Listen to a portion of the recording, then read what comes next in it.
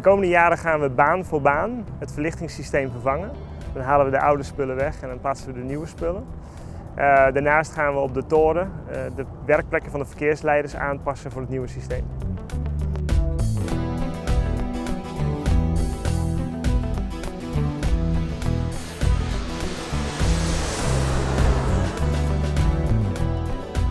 Uh, wat nieuw is met dit systeem is dat wij de verlichting uh, automatisch kunnen aanpassen op weersomstandigheden, op zichtomstandigheden.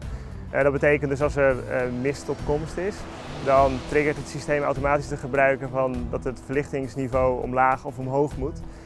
dit zorgt voor aan de ene kant een veiligere operatie, aan de andere kant ook een besparing in energie. Op Schiphol zit de baanverlichting zo'n beetje overal op het landingsterrein. Overal waar we banen hebben liggen zitten putten. In die putten zitten uh, onderdelen van dit systeem. Daarnaast zit het systeem in baanstations en ook op de verkeerstoren. Dit zijn locaties die 24 uur per dag in gebruik zijn en daardoor lastig te bereiken.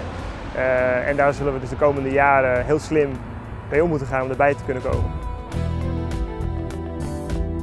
Het voordeel van dit systeem is, is dat het gewoon goedkoper is, zowel in aanschaf als in onderhoud.